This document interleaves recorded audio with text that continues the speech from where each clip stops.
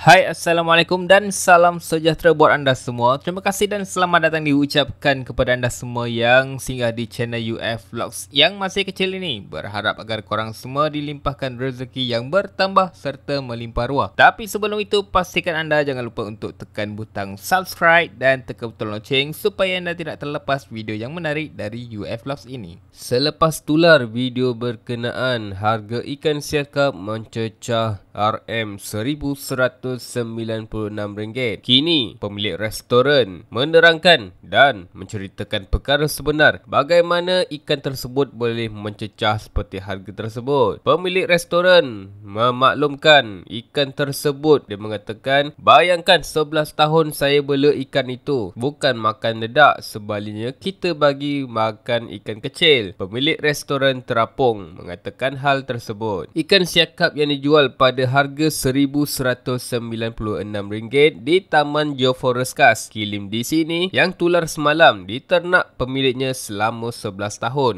Pemilik restoran terapung Sasrimba Nora Syikin Musa berkata ikan siakap seberat 7.48 kg tersebut diberi makan ikan kecil yang segar dan bukannya dedak seperti kebanyakan sangkar ikan komersial yang lain. Menurut pemilik restoran tersebut, kita tak bagi makan dedak, kita bagi ikan kecil yang yang dibeli daripada nelayan lain yang baru ditangkap kepada ikan-ikan yang dibela di dalam sangkar ini. Bayangkan 11 tahun saya bela ikan itu, berapa banyak kos untuk ikan itu? Berapa ratus kilogram ikan itu telah makan? Tak mungkin saya nak jual dengan harga seperti ikan yang seberat 2 kilogram. Katanya apabila ditemui di restoran tersebut di Taman Joforeska Skilim di sini hari ini. Tambahnya, kos operasi restoran terapung adalah tinggi dan boleh mencecah sehingga 7,000 sehari. Katanya Katanya selain daripada kos memberi makan kepada ikan di sangkar tersebut, kos operasi lain seperti minyak bot yang digunakan untuk membawa bahan masakan dan kos penyelenggaraan restoran juga adalah lebih tinggi kerana kedudukannya yang terapung mengikut pasang surut air laut. Menurutnya, pengawal keselamatan juga perlu diupah bagi memastikan ikan yang dibela tidak dicuri oleh mereka yang tidak bertanggungjawab kerana kawasan sangkar tersebut adalah sangat gelap apabila malam tiba. Jelas Nora Shikin, ini bukan kali pertama pertama dia menjual ikan yang bersaiz besar daripada biasa kepada pengunjung yang datang ke restoran tersebut. Kalau ada permintaan oleh pelanggan, saya tetap menjual ikan tersebut tapi saya tetap akan maklumkan ikan tersebut adalah sangat besar berbanding ikan lain yang mempunyai berat sekitar 800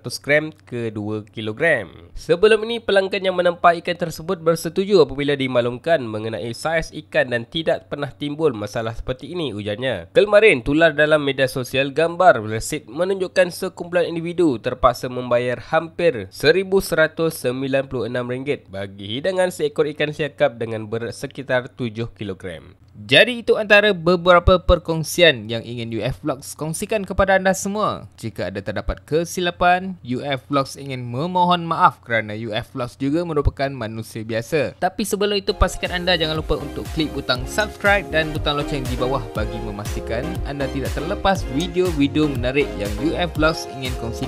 Sampai kita berjumpa lagi di masa akan datang. Assalamualaikum warahmatullahi wabarakatuh. Sas.